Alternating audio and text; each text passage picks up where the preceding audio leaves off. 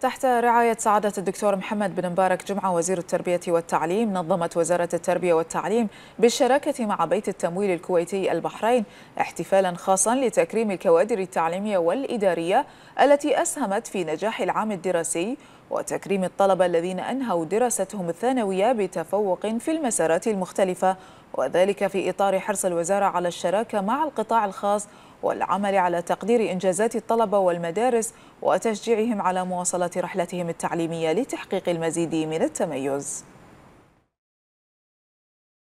في حفل سادت أجواؤه روح التفاؤل ورسمت تعابير الفرح على ملامح الطلبة المتفوقين الذين حرصت وزارة التربية والتعليم على الاحتفاء بهم وتكريمهم أمام ذويهم تقديرا منها لما بذلوه خلال مسيرتهم الدراسية من جهد حتى وصلوا إلى أعلى مراتب التفوق.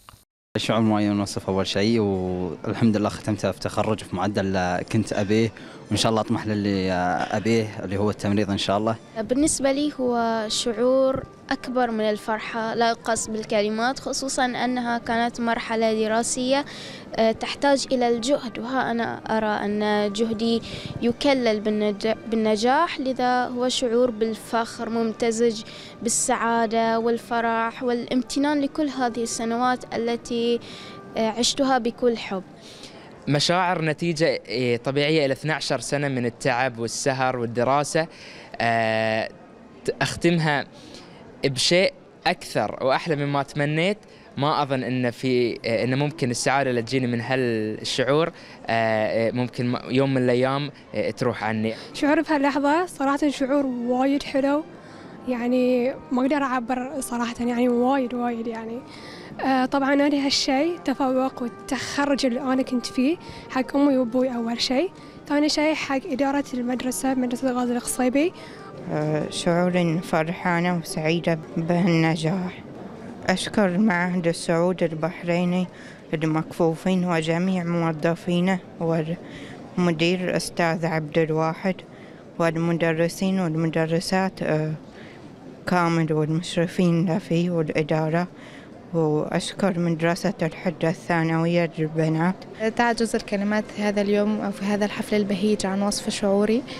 أه لقد مررنا بكثير من التحديات خلال 12, 12 سنة. أه أوجه أولا أقدم بالشكر أول لمملكة البحرين مملكتنا الحبيبة على كل الدعم اللي تقدم لنا.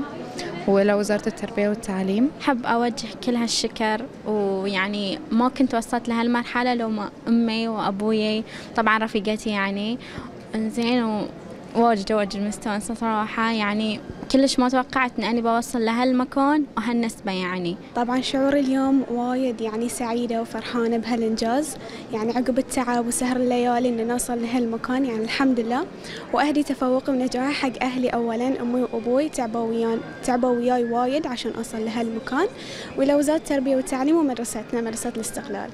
آه أنا سعيدة جدا جدا بهذه الحفل الكريم والتكريم.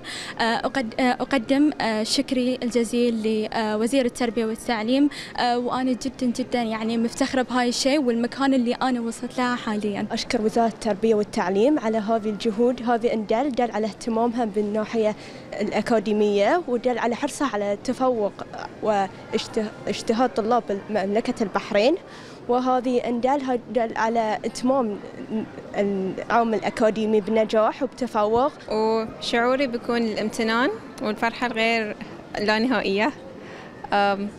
حق مملكتنا حق مدرستي وعائلتنا والحمد لله حق النتيجة اللي وصلنا لها. إقامة هذا الحفل هو خير دليل على مشاعر التقدير والاعتزاز تجاه هؤلاء الطلبة المتفوقين والمتميزين وهو بمثابة رسالة تشجيع لهم للاستمرار في طلب العلم والتعلم من أجل خدمة وطنهم مملكة البحرين.